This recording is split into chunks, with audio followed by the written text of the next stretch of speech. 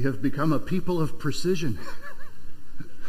Welcome to worship on this, the first day of November, all joining us in person or online. We're glad that you're here.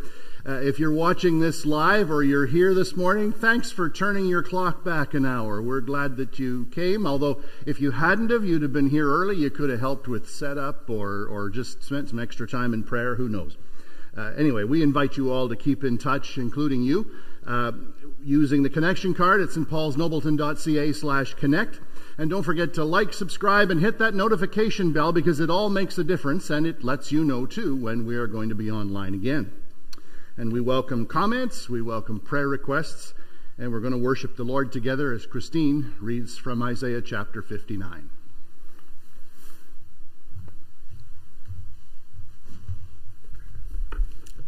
Good morning. The scripture reading is taken from Isaiah 59, verses 15b to 21.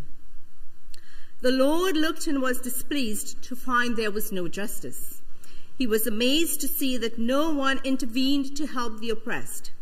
So he himself stepped in to save them with his strong arm, and his justice sustained him.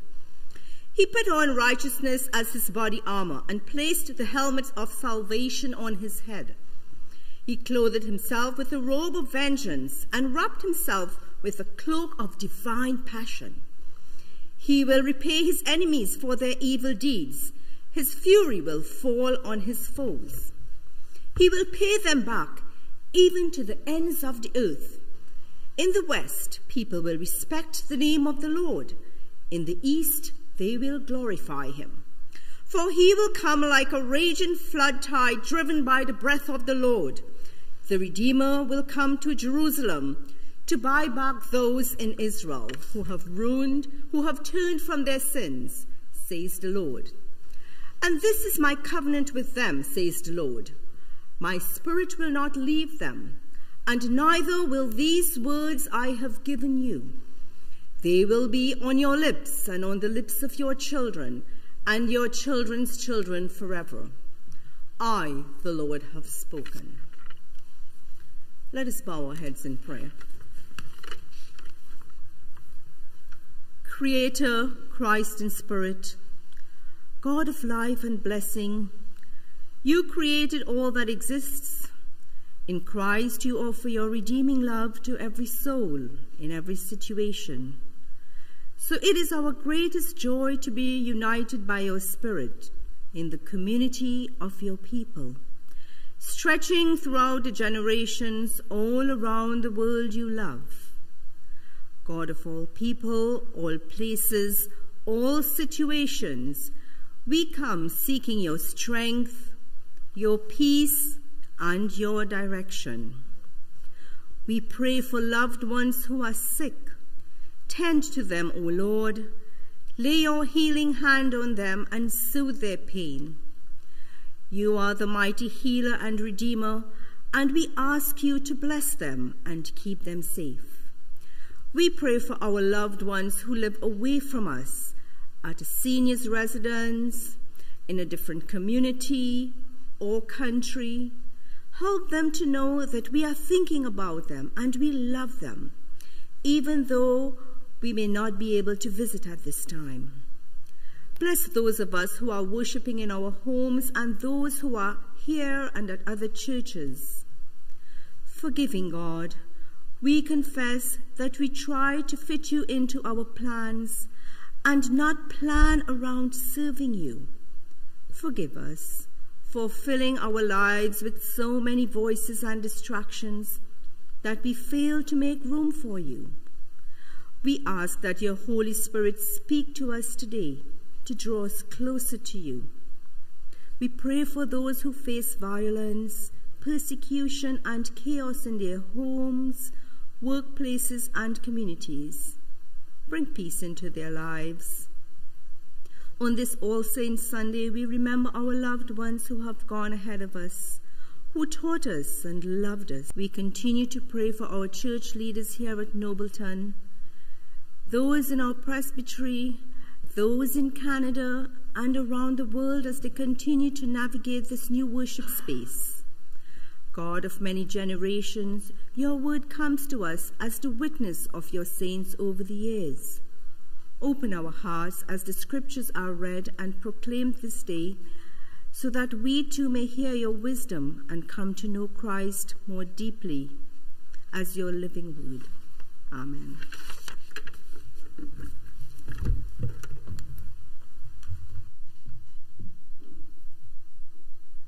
Change the clocks, we do so here twice a year, once for you and once for me. This is the time you do it for me. Otherwise, I would have to give the benediction and we'd go home based on what time my watch currently says. Yes, belt and suspenders, but some habits are hard to break.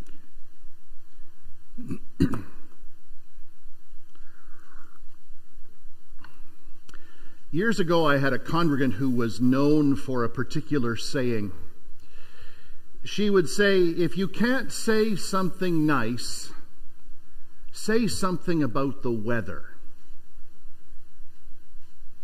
We all want to be nice. We think it's virtuous to be nice. And I'm not actually sure that this idea is found in the Bible. At least not with the word nice attached to it. But we try to be nice because we want to be liked by everybody. And yet, isn't that kind of a silly notion to start with? We want to be liked by everybody, but that's not we not even we like everybody. So why could we be liked by everybody? And because human beings have a bad habit of supposing that God must be like us and must think the way we think, being nice has often led to the notion that God must be nice. But God is not nice. God is holy. God is righteous. God is just. God is not, in our sense of the term, nice. Oh, God is good, but He is not nice. Nice is a term that we have come up with, perhaps as a means of avoiding talking about the weather. It's because we tend to think of God as nice that the concluding section of Romans chapter 11 might seem awkward to us when read in context. And I say when read in context because if you just lift it out of its context, you might become somebody who would think that God is especially nice. But context is everything, and we have been spending the past several months looking at context for this passage. So, with that in mind, we're going to turn to Romans 11 25 to 36 and discover a few surprising things. And uh, perhaps we'll make a few more stops along the way than usual, just so you know. Paul says, I want you to understand this mystery. That is a, a hidden truth from the mind of God. I want you to understand this mystery, dear brothers and sisters, so that you will not feel proud about yourselves. Again, as last week we learned that for some reason, some of these Gentile Christians were uh, feeling superior to the Jewish believers uh, and the Jewish people generally. God chose the Jews so that the Gentiles would likewise be blessed according to his covenant with Abraham in Genesis 12. But that was no reason to be haughty because, as we learned last week, the Gentiles were unnaturally grafted into this mighty olive tree that is his chosen people, Israel. Some of the people of Israel have hard hearts, some, that which means there must be a remnant of faithful Jews. But this will last only until the full number of Gentiles comes to Christ. Now, what is this full number? It's the number of Gentiles that God has determined must come to know the Lord who will come into the kingdom of God. Then what will happen? And so, that is, in this manner, all Israel will be saved. Now, doesn't that sound nice? All Israel will be saved. It all works out in the end. Isn't God nice? Well, it may seem so on the surface, but we need to ask ourselves what all Israel means. Is it the church? Is it spiritual Israel, the Jews who have come to believe? Or is it some Israelites as a representative whole? I want to suggest the latter, given that the Bible often refers to all Israel when only some people are being referenced. For example, in 2 Samuel 16:22, Absalom is in conflict with his father King David, and he sets up a tent where he can have his way with David's concubines, um, and he says that he will do so. Uh, where the, the NLT says, where everyone could see. But in the original, it says, where all Israel could see. Now, not all of Israel is going to see into this tent for whatever merrymaking would have been going on, just a representative group. So, all Israel will be saved refers to a representative group of Israel, which we take to mean a group of Jews who are in existence at the time of the second coming, thus giving Israel a remnant plus those who will see the second coming. And how will this representative group be saved? Well, that's where context is so helpful. We go back to Romans 10:13 and are reminded that those who call on the name of the Lord will be saved. That is, these Israelites will see Jesus and they will believe the gospel. Now, why do we believe this has to do with the second coming? Well, we'll read on. Paul quotes some Old Testament here. He says, as the scriptures say, the one who rescues will come from Jerusalem, and he will turn Israel away from ungodliness. And this is my covenant with them, that I will take away their sins. Now that's Paul quoting part of Isaiah 59, which Christine read earlier, and a snippet from Isaiah 27. But you may have noticed something where Paul says there's one who rescues who will come from Jerusalem. The version in the Old Testament actually says one who will come to Jerusalem. So Paul is adapting this citation from the Old Testament, as he is wont to do, uh, to refer to who he knows to be the one who rescues. The one who rescues is the Lord Jesus Christ at his second coming. And if you read 1 Thessalonians chapter 1 verse 10, we know that Paul believes that Jesus will return from heaven, that is the heavenly Jerusalem. So when he says that the one who rescues Jesus will come from Jerusalem, he is saying that this representative group called all Israel will be saved by the one who comes from the heavenly Jerusalem at the end of time as we know it. So at Jesus' second coming, he will come from heaven to turn Israel away from ungodliness because of God's faithfulness to his covenant with Abraham, Isaac, and Jacob. Hold that thought. We'll carry on. Many of the people of Israel are now enemies of the good news. That is because they refuse to believe the gospel. And this benefits you Gentiles. Yet they are still the people he loves because he chose their ancestors, Abraham, Isaac, and Jacob. Again, God pledged faithfulness to the patriarchs. For God's gifts and his call can never be withdrawn. Once you Gentiles were rebels against God, but when the people of Israel rebelled against him, God was merciful to you instead. Now they are rebels, and God's mercy has come to you so that they too will share in God's mercy. For God has imprisoned everyone in disobedience, that is, in the consequences of sin, so he could have mercy on everyone. Now, Paul concludes Romans 9, 10, and 11, wherein he has focused on the salvation of the Jews, and there's a lot of theology in those chapters, and I'm as glad to be graduating from them as you are. But with theology comes doxology. And so Paul concludes Romans 11 with a word of praise, a doxology. Oh, how great are God's riches, that is, his infinite kindness on all sorts of people, and wisdom and knowledge, foreknowledge, that is, God's election. How impossible it is for us to understand his decisions and his ways. For who can know the Lord's thoughts? Who knows enough to give him advice? That's from Isaiah 40. And who has given him so much that he needs to pay it back? That's from Job 41. Who can know the Lord's thoughts? This is praise, right? Who has given him so much? In the words of the great theologian Mel Lastman, nobody! That's the implication, right? Rhetorical question. For everything comes from him and exists by his power and is intended for his glory. All glory to him forever. Amen.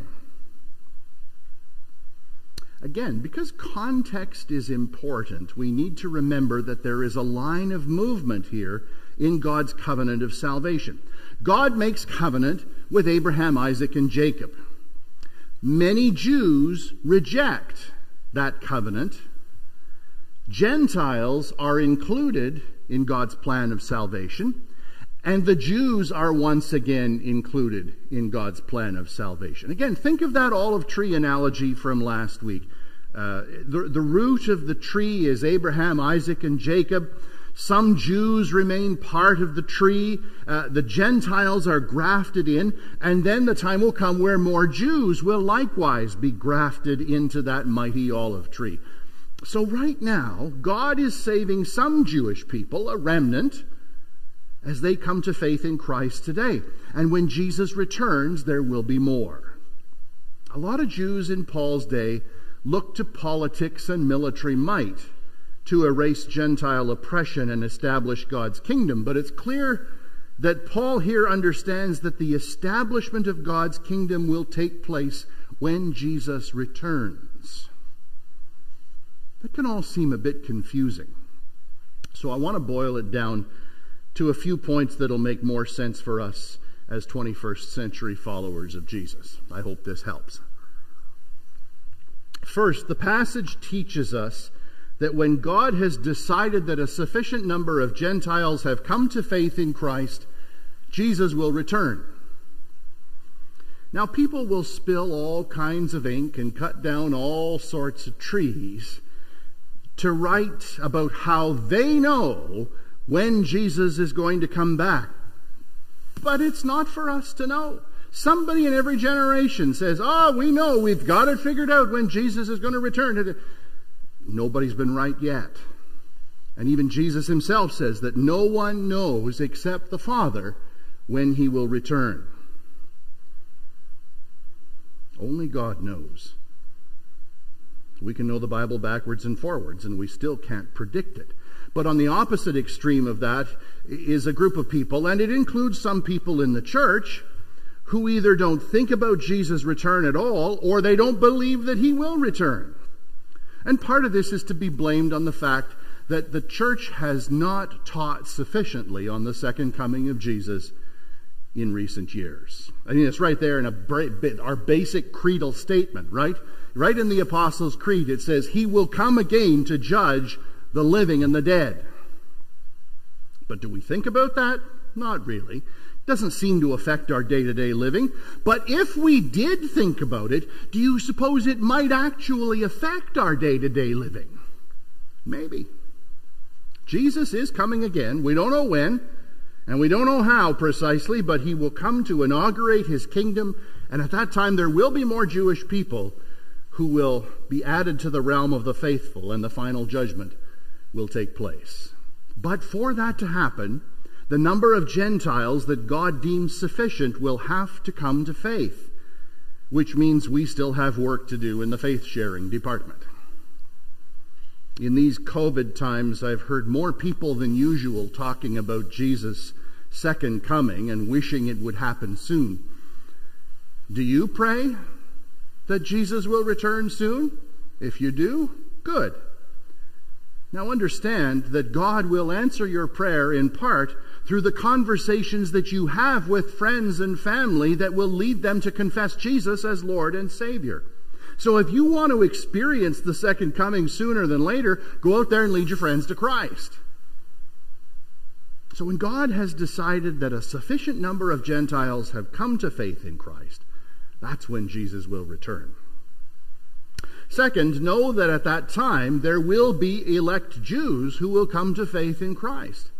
The remnant of Jews who respond to the gospel will be expanded as they witness the second coming of Jesus and believe that he is the Son of God and the promised Messiah. But this shouldn't stop you, of course, from sharing your faith with your Jewish friends today. The remnant can grow, but those who are present at the second coming of Jesus will likewise realize their election and come to faith when they see him face to face. But, and this is the third point, understand this not everyone will be saved. There is more than one global pandemic out there right now. Did you know that? More than one global pandemic. Coronavirus gets all the press, but there is another one, and it is rampant even in the church. And that is the pandemic of universalism. The idea that everybody is going to be saved. It's actually, I call it the doctrine of niceness. If God is nice, He's going to save everybody. It may be nice, but it doesn't hold any water biblically. I call it a pandemic because it exists everywhere and it seems easily spread because we all want to be liked and we all want to be nice. And frankly, it's why a lot of people don't talk about their faith. I mean, if everybody's going to heaven, why should I bother having that awkward conversation about Jesus? There is no part of the Bible read in context that gives even a hint of universal salvation.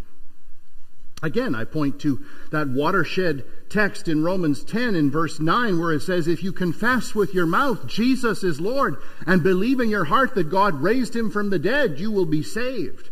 There's an obvious condition on salvation there. Confess with your mouth, believe in your heart.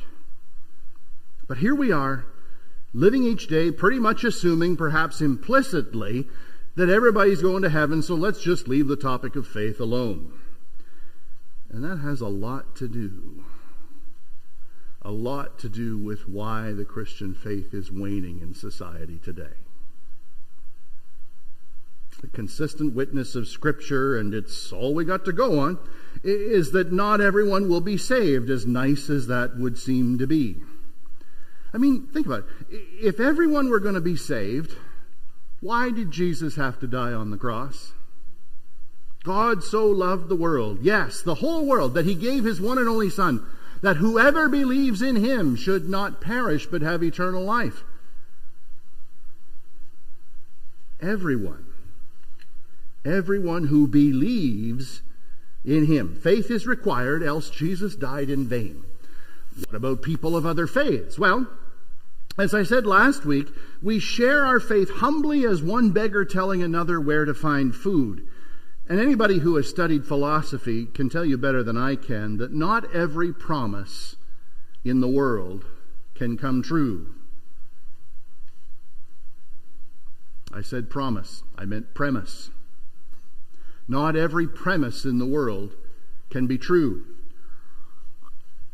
So if we say that Christianity is true, that's an exclusive statement. Because if Christianity is true, then there are other things which stand in contradiction to that, which therefore must not be true. And that's why a biblical Christian faith is not particularly politically correct. And it's not nice. But it is true, and it is life changing.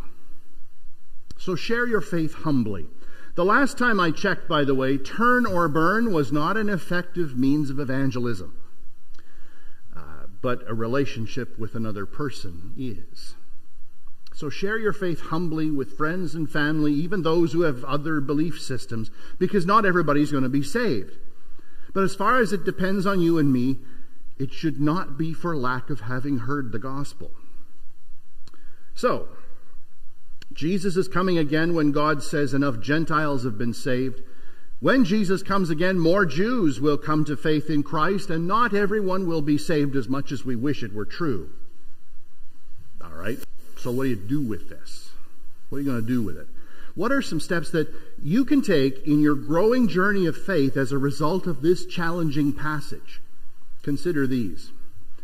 You can pray for the second coming of Christ. Paul concludes his first letter to the Corinthians with a prayer which is translated, Our Lord come. It's the word Maranatha, which, uh, I mean, other than being a music publishing corporation, doesn't get a lot of use nowadays, but it means, Our Lord come, Maranatha. In fact, it's the name of a Christian Reformed church in Woodbridge, but it doesn't get a lot of press nowadays. It also doesn't appear elsewhere in the scripture, but there's a variant of it that appears in the second last verse of the entire Bible. In Revelation 22 20, it says, Come, Lord Jesus. It's been prayed by Christians since the time Jesus ascended into heaven promising that he would come again. We don't know when it will take place. Every generation thinks it knows based on world events or numbers or life circumstances, but we cannot predict it. All we can do is be ready.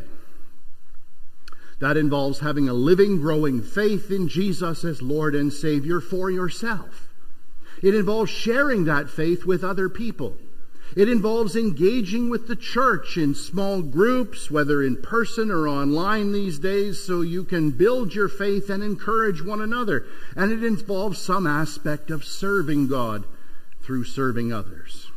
We don't know what all will be involved in the second coming, second coming of Jesus, but we can pray for it, even yearn for it. So if you'll pray for the second coming, make note of that in the comments or on your online connection card at stpaulsnobleton.ca slash connect and just type in the word pray. Second, and this builds on the first, you can continue to witness to God's grace at work in your life by telling other people your story of faith and encouraging them to embrace Jesus as Lord and Savior. We're used by God to bring about whatever magic number of Gentiles it's going to take to trigger Jesus' return. We do know this. It is not 144,000. That is the number that is a very symbolic term used in one place in the book of the Revelation, and the misguided Jehovah's Witnesses claim that it will be the number of people in heaven. But I don't know about you. I'm pretty sure, I'm hoping, I'm praying that the number of people in heaven by the time I get there is going to be a whole lot more than that. Our job isn't to figure out the number. Our job is to report for duty. And Jesus has commissioned us to go and make disciples of all nations. How'd you make out in your efforts to share your faith as I challenged you a few weeks ago? If it didn't work then, or you didn't take up the challenge, let me encourage you to try this week to reach one person with the eternity changing love of Jesus. If you'll do that, type the word witness in the comments or in your connection card can be as simple as sharing your story of faith, inviting another person to view our broadcasts, maybe have a conversation with them afterwards. Whatever the Lord leads you to do, witness to God's love in Jesus. And finally, because we know the Bible does not teach it to be true, a good response to this passage is to correct any thought that everyone will be saved. It may mean giving up being nice. It may mean breaking that rule that you never talk about politics or religion. Because this, this is actually one of the reasons the world's in the predicament it's in right now, right? We were always told polite conversation doesn't involve faith, it doesn't involve politics. And as a result of that, we have been rendered unable to have civil conversation about faith or politics. Because of the pandemic of belief in universal salvation, many people would rather not upset any apple carts by invoking a conversation that may prompt some sort of disagreement. Remember, it's your job to sow the seed. It's God's job to do the watering and the growing. When you've shared your faith, you've done all you can. Let God do the heavy lifting. We're not required to convince, right? We are required to witness because not everybody is going to be saved. If you've been thinking everybody's going to be saved and you're willing to let Scripture correct you on that matter, then type correct in the comments or in your online connection card. I got to admit, I realized by the time I got to the end of writing my notes for this that the title I gave this message was lame. That title was not going to bring anybody in the door this week. But now that I've finished it, I really think I should have called it Stop Being Nice Christians. So that's my charge to you today. Stop being nice Christians. God isn't nice anyway. He's holy, He's righteous, He's just, He is good. And faith in Jesus is so important that it has to trump being nice. Because Jesus is coming again. May it be soon. Let's pray. O Lord, come. Maranatha. In these days of trial and challenge, many followers of Jesus are crying out to you to bring your kingdom in its fullness now. But we remember that the fruit of the Spirit is patience, and we need patience for that as much as we do for so many other things. We pray for the people to whom we will witness to your love and grace and mercy. Open their hearts, Lord, and make them ready to receive our witness. We pray for the Jewish people that you will, by grace, engraft them once again. And we pray for those who do not concern themselves about a relationship with you because they believe everyone will be saved. Oh, how we wish that were true. But your word suggests otherwise. So help us to be winsome in our witness and to help others to know and love and serve you that Jesus will return and your kingdom will come. Empower us with your Holy Spirit to do all to which you call us for the glory of our Savior Jesus, our coming King. Amen. We'd like to keep in touch with you if you're here or if you're online. So please do make use of that connection card at stpaulsnobleton.ca slash connect, and we'd love to pray for you and be of any uh, help we can possibly be. We're going to sing a gospel song that many of you will remember from your past. It's uh, a call to action. It's called We've a Story to Tell to the Nations. And I'll invite you to rise if you're able.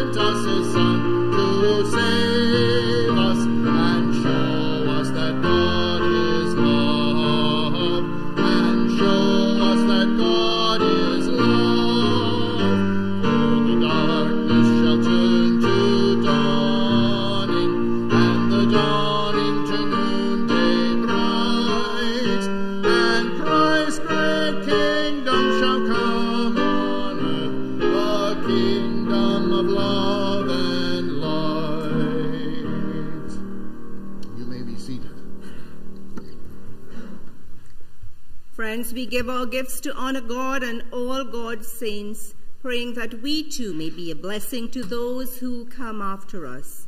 We thank you for the support of God's mission at St. Paul's Nobleton, and there are a number of ways you can continue to give and support God's mission here. You can bring a gift and leave it at the front of the sanctuary, or you may mail in a check into 5750 King Road in Nobleton. You can also send a gift through PayPal at stpaulsnobleton.ca slash giving, or you can make a donation via e-transfer to donate at stpaulsnobleton.ca. We appreciate your faithfulness. Please stand as we close. We're going to sing Mighty to Save.